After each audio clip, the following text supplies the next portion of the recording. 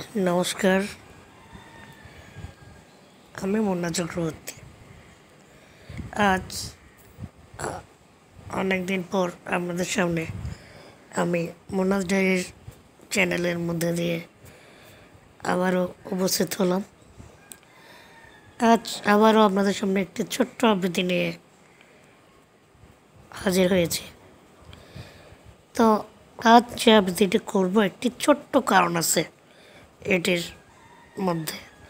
কারণটি হলো মাসখানেক আগে করোনা পরিস্থিতি যখন বেশি খারাপ পর্যায়ে চলে গিয়েছিল, তখন পুরো দেশটাই যেন কেমন অপরিচিত অপরিচিত মনে হচ্ছিল সবারই।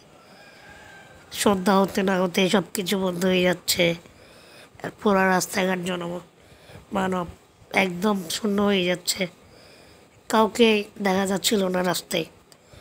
তো একদিন রাত্রে ভাত খেয়ে ওঠার পরে মামাকে বলল যে, দেখ ব্যালকনি দিকে একটু দেখাই তুই তোর এরিয়াকে চিনতেই পারবি না। তো আমিও চলে গেলাম মার কথা শুনে। তো ব্যালকনিতে গিয়ে দাঁড়ানোর পরে একটি ছোট্ট কবিতা লেখার চেষ্টা করেছিলাম।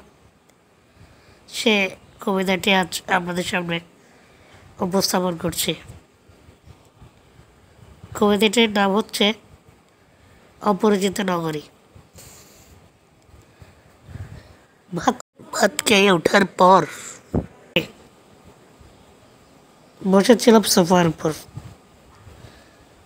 মা হঠাৎ জানালো, মোরে দেখাই একটু ব্যালকনি ঘুরে। আমিও গেলাম ব্যালকনিতে। তাকালাম রাস্তার গলিতে। পুরো রাস্তা ছিল নীরব। দেখলাম না কোনো জনমানব। কেমন যেন হয়ে গেল এই সুন্দর ভুবন। তার কিছুই নাই। করোনাই একমাত্র কারণ। যে স্থানে সর্বদা থাকতো মানুষের ছড়াছড়ি সে তার হয়ে গেল এক নতুন নগরী ধন্যবাদ সবাইকে।